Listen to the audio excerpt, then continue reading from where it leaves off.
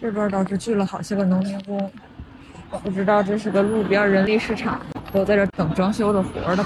这种东西就是你平时不关心它的时候，可能感觉哪儿都好像有点啥。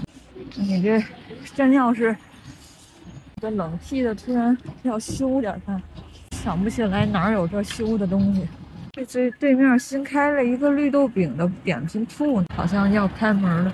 原来是一个小小旅店，坏坏了以后倒闭了以后又是换了一个小旅店，只不过改了个名头，换了个老板。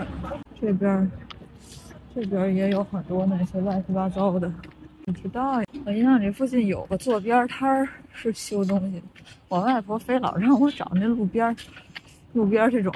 我觉得这种不靠谱，那就是什么通厕所、通下水这些的都不是。他跟我说这边这个报刊亭有有那个，但是他可能是记错了。你看这个写的都是什么通厕所的，不是燃气灶，什么家政什么的，他也不修燃气。这下糟了，那儿有一个五金店，但是五金店和修燃气灶有关系吗？他会不会只是卖零件不修的呀？